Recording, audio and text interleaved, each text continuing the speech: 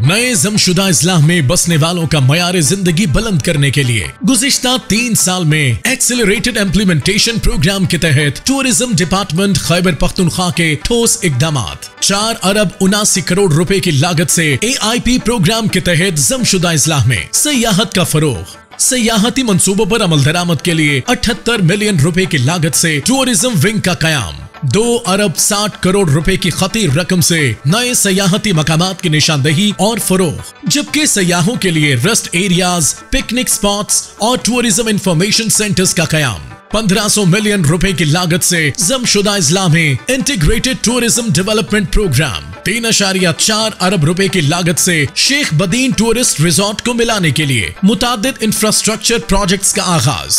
जमशुदा इस्लामी सयाहत के फरोग के लिए मुख्तलिफ़ फेस्टिवल्स के इनका के लिए चार सौ चौरानवे मिलियन रुपए मुख्त ताकि सयाहत को सनत का दर्जा मिलने ऐसी मुआशी तरक्की तेज हो। वहाँ बसने वाले नौजवानों के लिए रोज़गार के अनगिनत मौाक़े पैदा हों। मजीद मालूम और रहनुमाई के लिए K P tourism dot com visit करें। ये है आज का खैबर पख्तनख्वा। सयाहत के फरोग के लिए हर लम्हा कोशा। हुकूमत खैबर पख्तनख्वा महकमा तलात तालुकात आमा